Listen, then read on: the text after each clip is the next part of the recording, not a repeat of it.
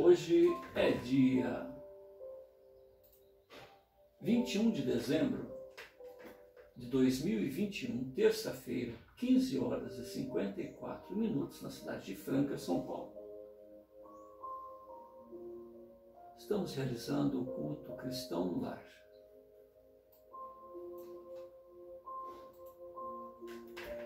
E nessa oportunidade escolhemos para leitura a obra Lírios da Esperança, uma obra produzida pela editora do Focus, Educando Corações. Livro este da série Atitudes de Amor.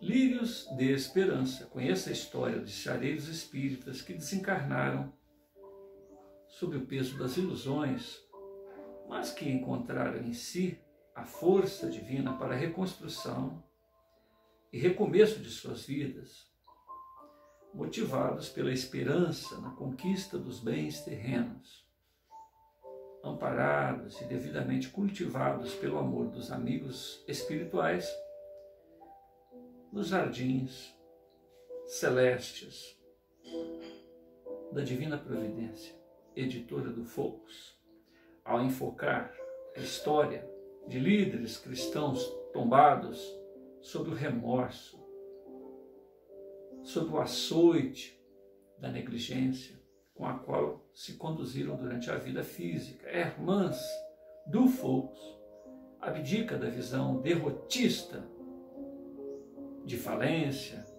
e quase irremediável, e queda irremediável, para alertar o homem terreno sobre quanto lhe compete realizar no clima de sacrifício e da renúncia em favor de si mesmo,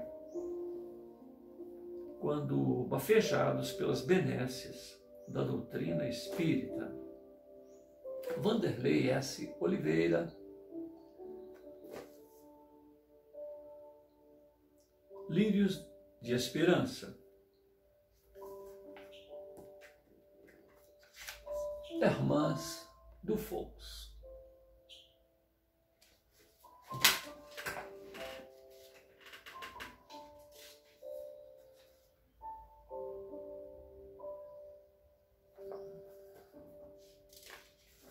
Lírios de esperança.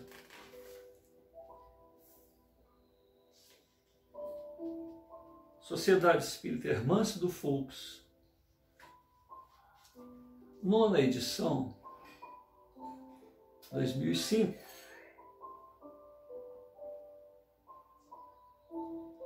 A cidade de Corinto começou então a produzir os frutos mais ricos de espiritualidade.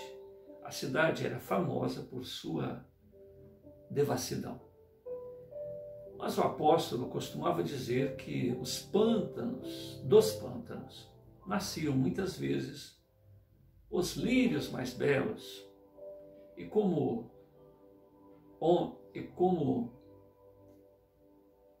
onde há muito pecado, há muito remorso e sofrimento, em identidade de circunstância, a comunidade cresceu dia a dia, reunindo os crentes mais diversos que chegavam ansiosos por abandonar aquela Babilônia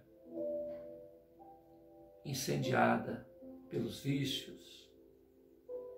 Isso está em Emmanuel, as epístolas, Paulo Estevam.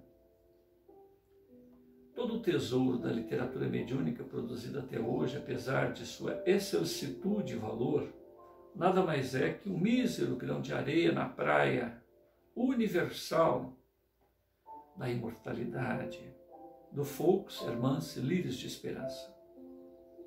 A questão mais aflitiva para o espírito no além é a consciência do tempo perdido, Bacelli, no Evangelho de Chico Xavier, item 17. Lírios de esperança. Os apontamentos desta obra são inspirados em fatos reais e refletem um trabalho de equipe. Coube-nos a tarefa de organizá-las enviar à Terra sob a chancela de Eurípides Barçanufo. Enveredados pela trama somente até o ponto de tornar compreensível a história, pois nosso objetivo é destacar as preciosas lições morais contidas nas experiências de vários corações. Para isso, dispomos da didática, dos diálogos interativos, abdicando do enredo romanceado que poderia desviar-nos da, da desviar-nos a atenção para o exterior em detrimento das vivências interiores. Esforçamos-nos tanto quanto nos permitiram as condições para retratar as peculiaridades de cada personagem, no intuito de reconstruir os fatos com realismo. Em nome de nossa amizade, que a cada dia se consagra e mantendo-me esperançosa em dias melhores para nossa humanidade recebam a bênção fraternal em nome de nosso Senhor Jesus Cristo, endereçada aos leitores e amigos. Irmãs do Focus, 1 de maio de 2005. Em tempos de transição. Em verdade vos digo que não ficará aqui pedra sobre pedra que não seja derribada. Jesus, Mateus 24, 2. Nos bastidores dos dramas sociais visíveis aos olhares humanos, trava-se uma batalha decisiva do bem contra o mal.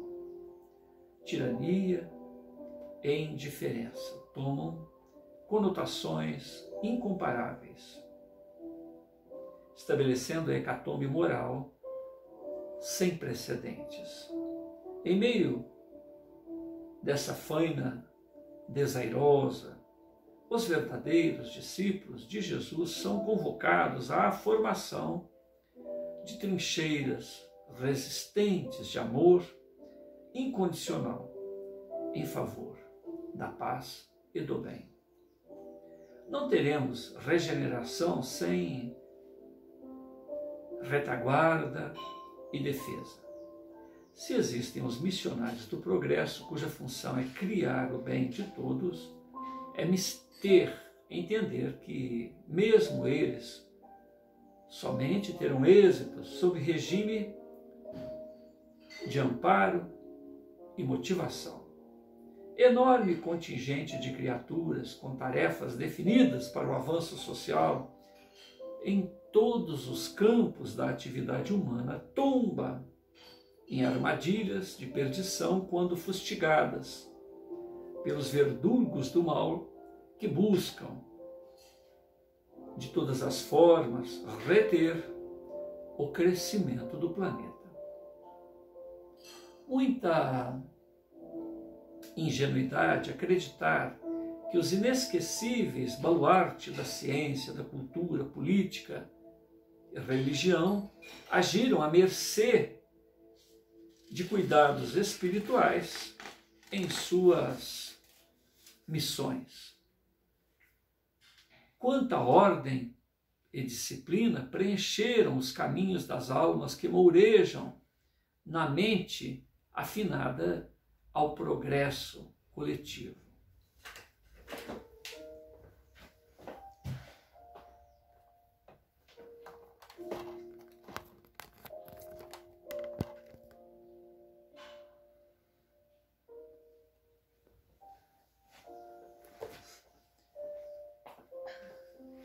Quanta atenção e interesse fraterno despertam os que abrem seus corações ao amor sem fronteiras. Como imaginar Albert Schweitzer e Gandhi realizaram à mercê das bênçãos sem enormes medidas seguranças do mais alto. Einstein Freud foram assessorados ininterruptamente. Kardec recebeu de Jesus a autorização para medidas de proteção, jamais utilizadas a nenhum missionário na face da terra. O bem para ser espalhado não prescinde de fileiras, de defesas edificantes. Vivemos e respiramos sob os auspícios de uma rede de reflexos. Quaisquer desordens, assim como uma oração, são capazes de alterar nosso psiquismo. Luzes que se acendem fortalecem a rede. Quaisquer lampejos de paz atraem esfomeada multidão de almas atormentadas, sob o jugo de tiranos dotados de uma longa trajetória de inteligência, perspicácia na perversidade.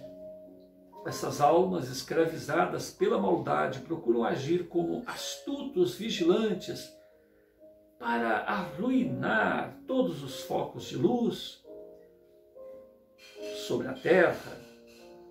Nessa razão, nessa essa a razão dos golpes sucessivos nas atividades amor do espiritismo cristão. Apesar da luz dos conhecimentos espíritas, o tesouro espiritual das informações não tem sido suficientes para despertar muitos adeptos a uma nova ordem de atitudes e ideias face aos desafios da hora presente.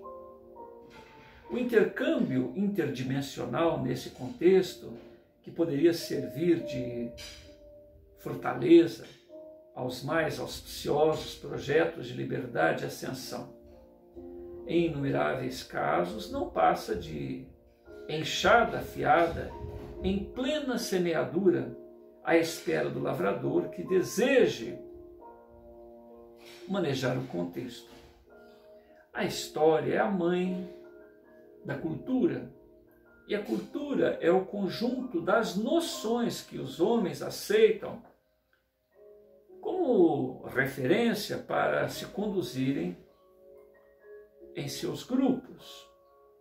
A cultura espírita em torno das questões mediúnicas responde por uma mentalidade que inspira práticas e posturas nem sempre ajustadas aos reclames do tempo espiritual da transição. Transição é o tempo mental da renovação, a hora do recomeço e da reavaliação. Nesse cenário, os aprendizes da mediunidade serão aferidos com rigor, muita coragem e sacrifício são exigidos de quem realmente anseia servir sob novos e mais apropriados regimes nesse tempo de contínuas mudanças. Indispensável romper conceitos vencer barreiras intelectuais e ter a ousadia de esculpir os novos modelos de relação intermundos, retirando a mediunidade do, do dogmatismo que aprisiona o raciocínio humano e da tristeza que estorcega o coração, como se os médiuns cumprissem severa sanção.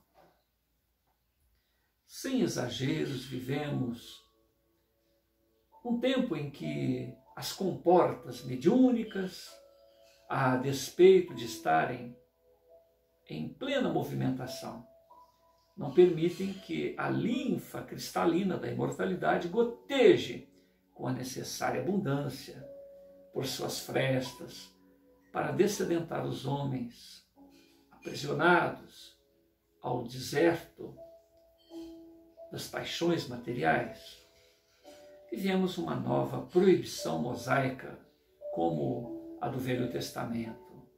Proibição essa mais nociva que a dos velhos textos hebreus, porque não se faz por decretos formais, passíveis de serem revogados, mas sob a coação impiedosa do, do preconceito sutil,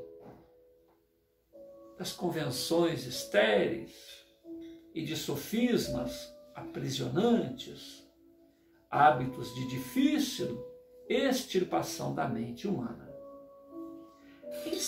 Indispensável que haja um novo tabor, em que Jesus, ao lado de Moisés e Elias, revogue a proibição da comunicabilidade dos espíritos com os homens. O espírito Charles Rosman e as irmãs Fox protagonizaram o tabor da era do espírito, o drama de Rosman assassinado há décadas na residência dos Fox. É o de bilhões de almas na humanidade à espera de quem lhes possa estudar a dor e amparar-lhe os caminhos, presas às ilusões de maldade e infortúnio ou aos porões fétidos de amargura e dor. Só haverá renovação social quando houver limpeza psicosférica. É hora de abertura, desenvolvimento de parâmetros experienciais sem perder o caráter moral e educativo para o qual as atuais práticas de intercâmbio se destinam.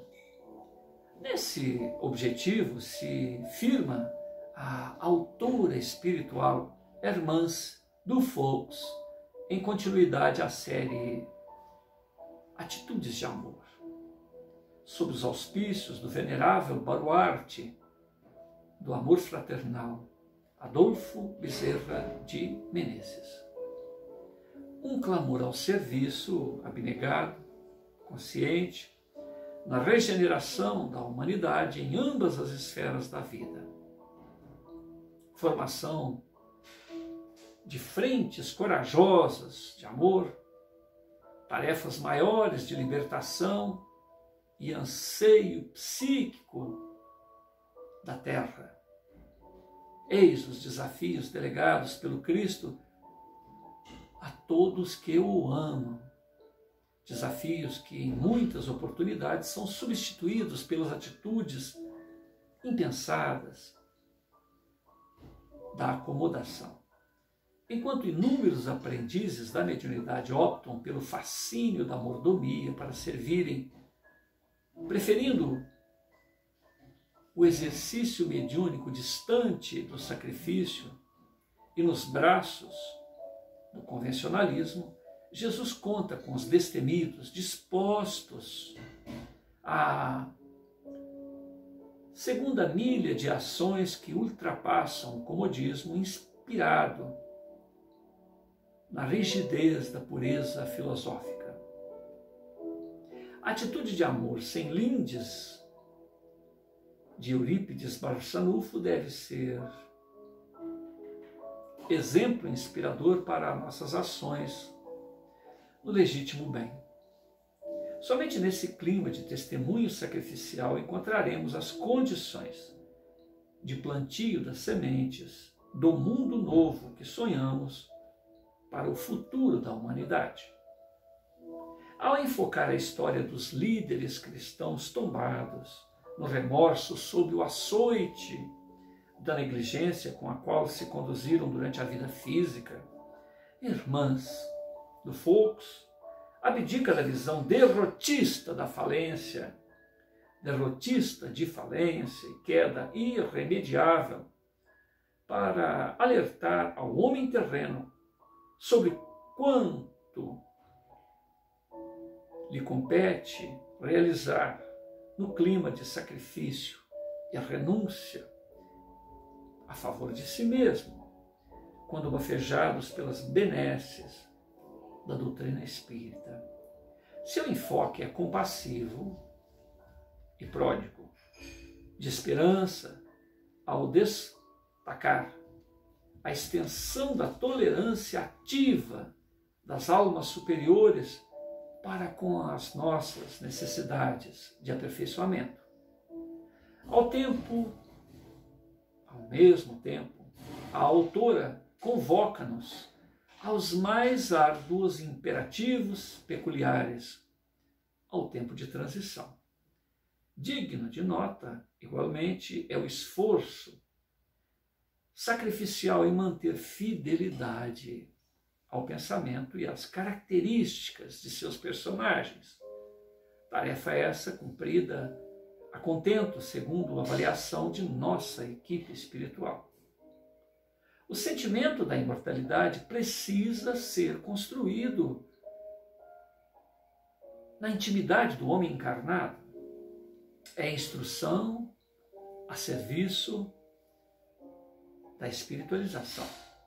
Essa instrução, no entanto, carece de aplicação prática que retrate, que retrate quanto possível as realidades, a realidade imortal.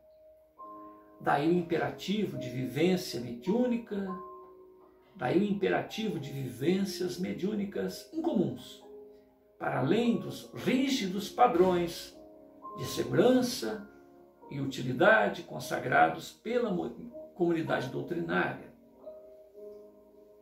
Um desafio de investigação e fé espera os servidores da mediunidade em tempos de transição.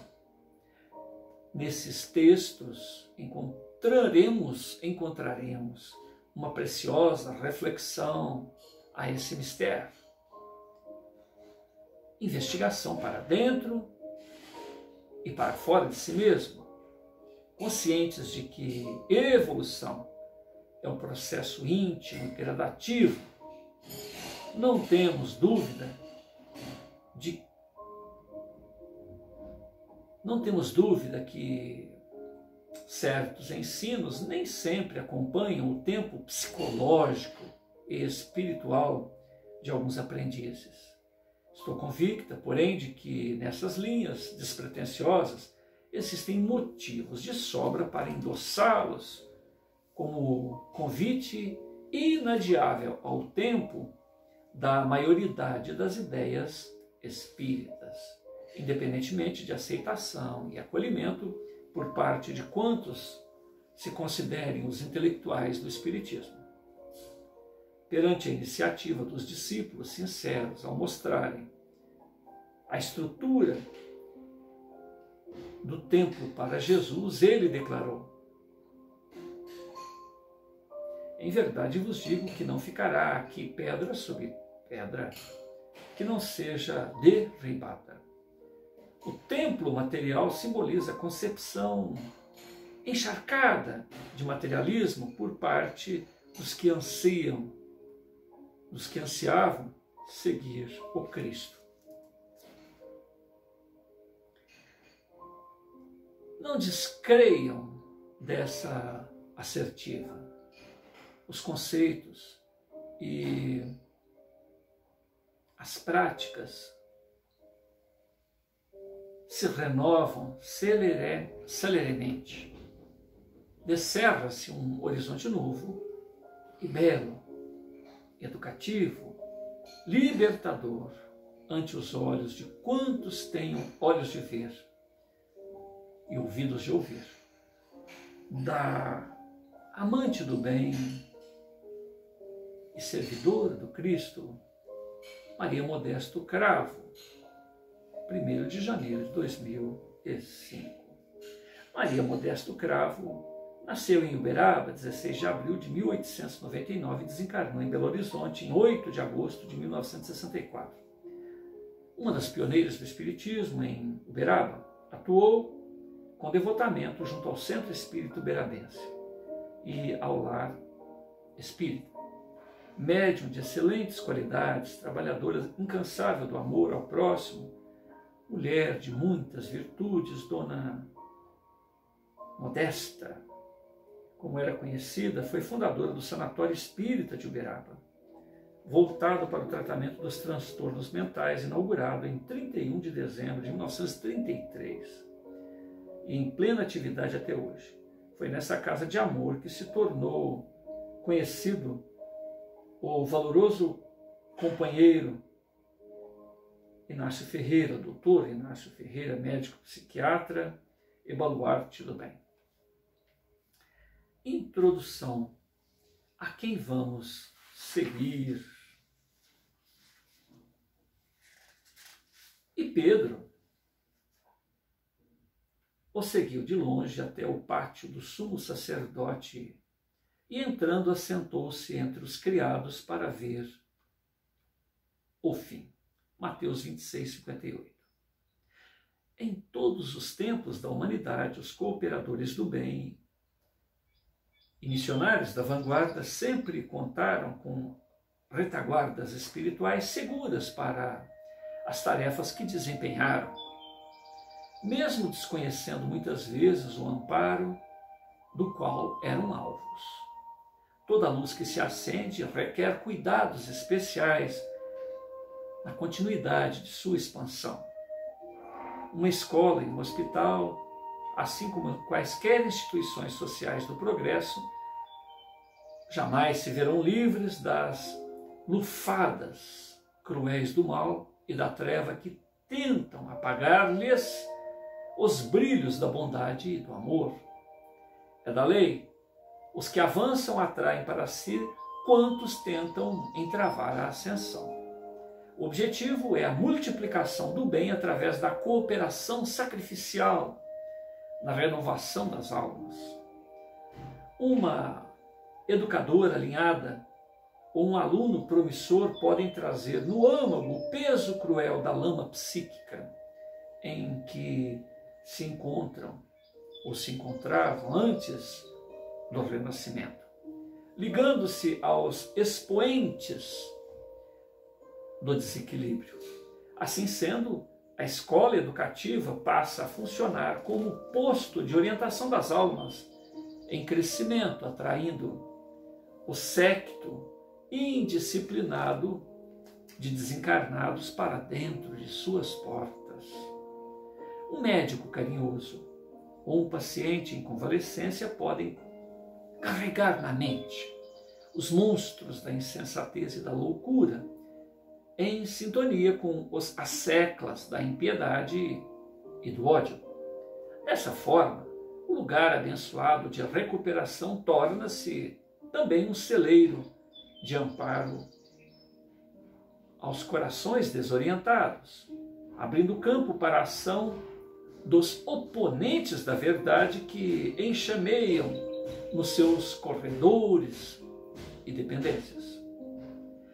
Quaisquer rincões da Terra, nos dias de transição, nos dias da transição, existe sede e fome, tormenta e dor, esmolando mãos amigas e a instrução correta em favor da libertação.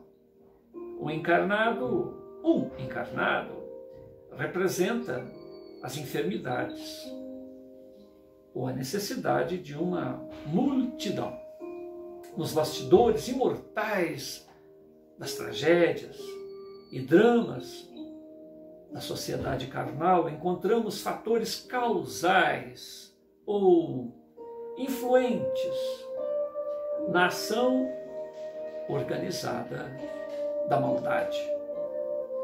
As raízes do mal se alongam do visível para o invisível e vice-versa.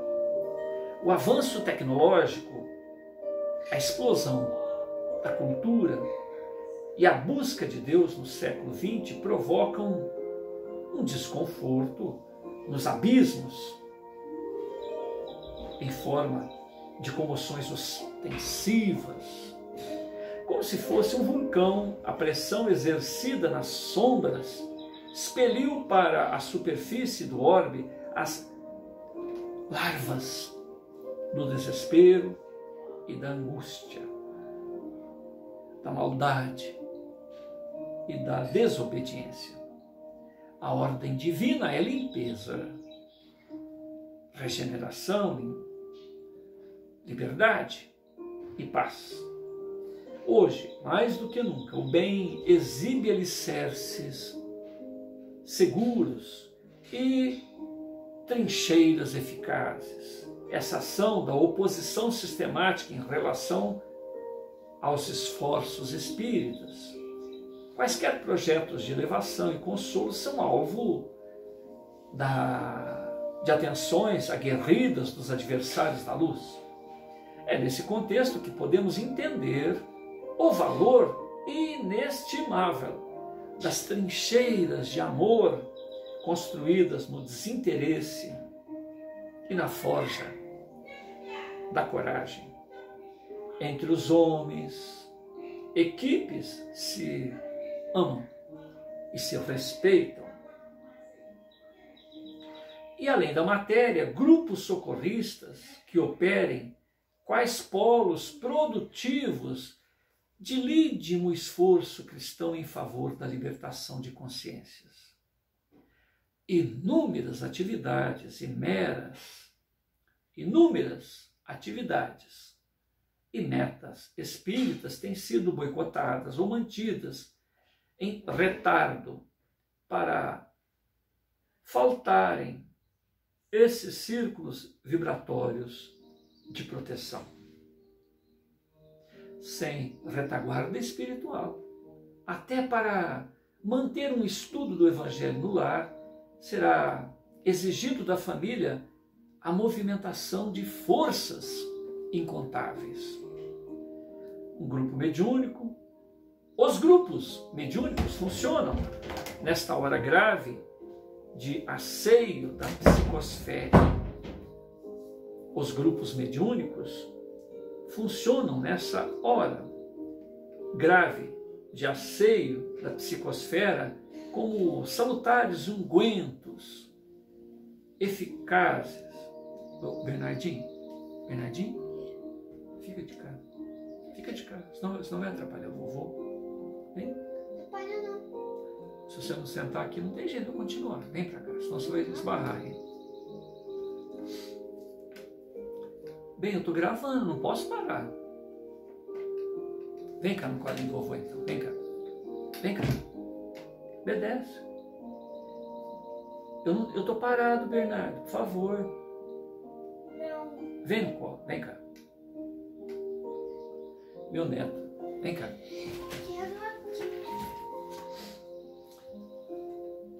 Inúmeras, inúmeras atividades e metas espíritas têm sido boicotadas ou mantidas em retardo por faltarem esses círculos vibratórios de proteção. Sem retaguarda espiritual, até para manter um estudo do Evangelho no lar, será exigido da família a movimentação de forças incontáveis os grupos mediúnicos funcionam nessa hora grave de asseio da psicosfera como salutares ungüentos, cicatrizantes ou medidas preventivas em favor da evolução e da ordem. A superação de parâmetros na aquisição de conhecimentos novos pode ser assemelhada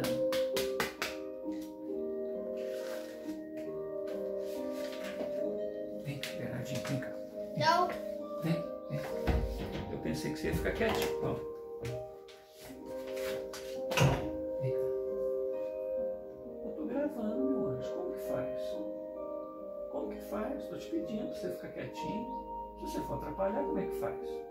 Você vai ficar quieto? Sim?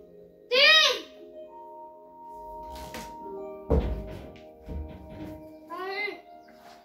Vem cá no colo um pouquinho, só pra, só pra ver você. Vem cá, vem cá. Não. Vem cá, por favor, vem cá. cá. Só para ver você. Senão a pessoa não vai entender. Vem aqui. Por favor, Bernardo. Você ajuda o vovô? Ajuda?